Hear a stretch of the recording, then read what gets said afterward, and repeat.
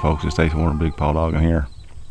Uh, I scouted this land yesterday. A buddy of mine called me and said, man, when you come back to Oklahoma, I need you to come over here and hunt.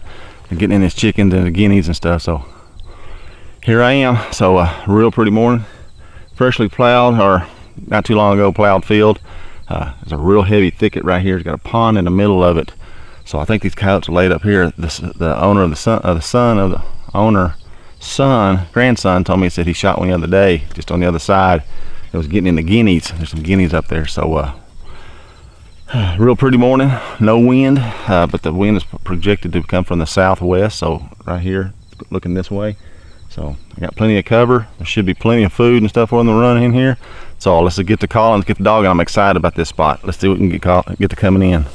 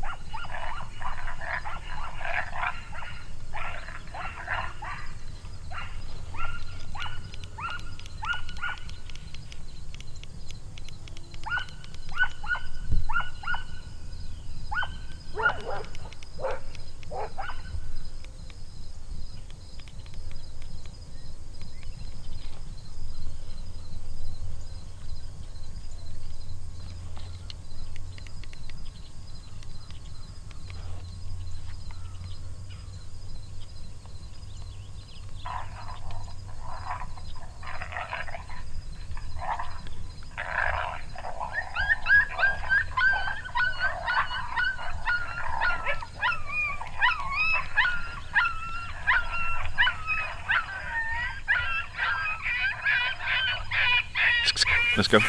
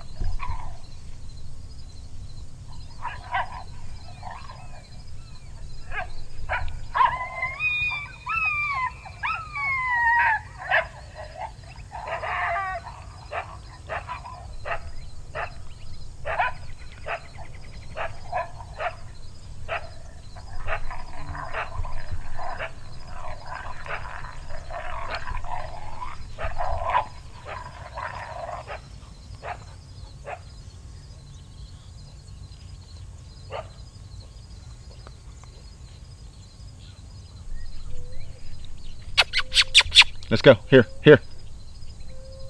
Here.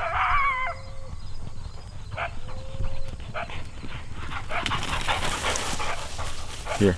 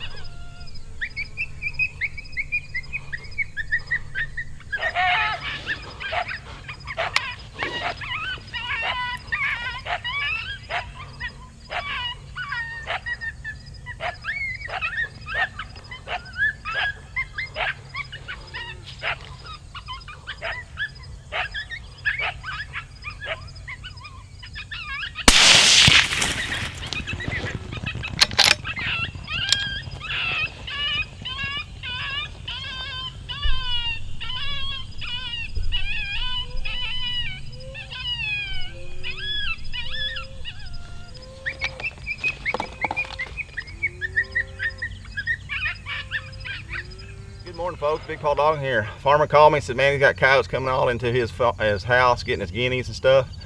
Uh, shot this nice little female. She didn't give us a great show, but she gave us a good show. Uh, she was vocal, barking, doing what she needs to do. But uh, proud of my dogs, Izzy and Thor. They were all up in that dog's uh, coyote's tail. Uh, ran it to the corner and back, but I knew it wasn't gonna be much of a show, so I went ahead and killed it. I got two more, two possibly three more places to go. So uh, I can tell you, Big Paw Dog got it done here in Oklahoma. Stay tuned for more.